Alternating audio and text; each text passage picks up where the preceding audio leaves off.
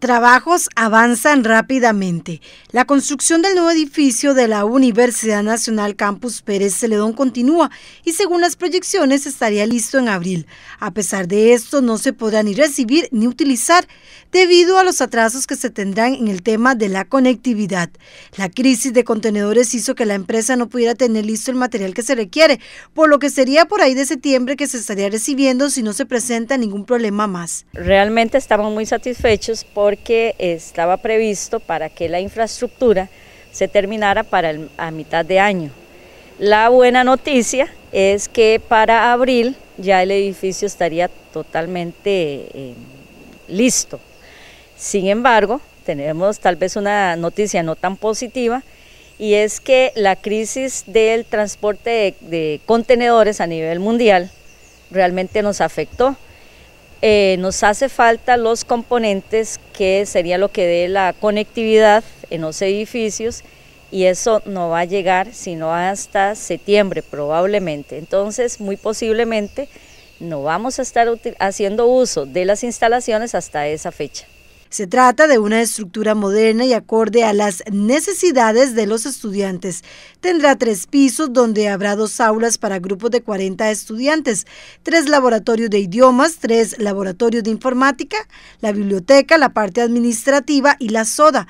Es un proyecto donde se invertirán alrededor de 5.200 millones de colones. Creo que es una de las eh, inversiones más importantes que se ha hecho en la región en lo que es infraestructura de la educación superior a alrededor de 9 millones de dólares, más de 9 millones de dólares, que creo que vienen a eh, hacerle justicia a las necesidades que tiene la población de la región Brunca.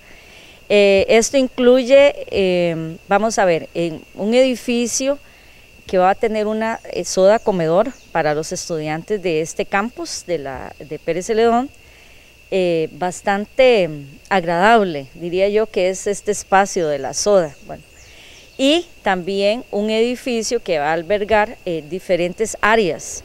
Eh, biblioteca, estamos trabajando en una biblioteca moderna donde la gente o los estudiantes, los usuarios se sientan eh, cómodos atendiendo sus, vamos a ver, clases, proyectos, investigaciones.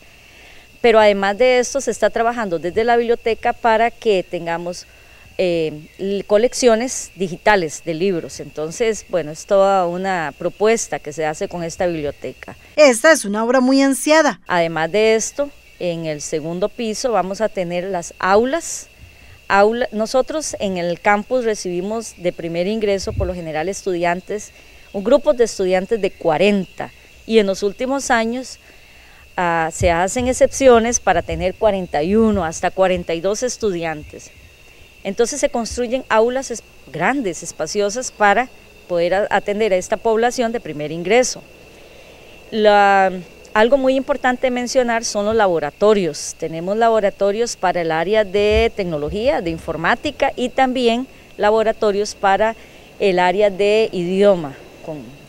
y entonces esto es como el la segunda planta, va a estar albergando esta parte para los estudiantes tan importante. En la tercera planta este, vamos a tener eh, la parte administrativa del campus. Esta es una de las inversiones más grandes que se hace por parte de la universidad. Eh, cuando decía que es una de las inversiones más importantes que se ha hecho y espero no equivocarme en decir que pasará muchos años para ver una inversión como esta, máxime que a nivel país estamos teniendo tanto problema eh, económico, ¿verdad? Que a veces lamentablemente la parte de la educación se ve afectada. Esperemos que, esté equivocada en esto en el futuro, pero bueno, el futuro hablará. Y, eh, pero de momento estamos como muy, muy este, agradecidos, ¿verdad?, con, la posibilidad de tener esta infraestructura para atender a nuestros estudiantes acá, que realmente la región Brunca lo merece. Eh, y creo que la Universidad Nacional apostó para que la región Brunca tenga esta posibilidad. Así que pronto se espera que esté listo el edificio, pero tendrán que esperar para poder utilizarlo.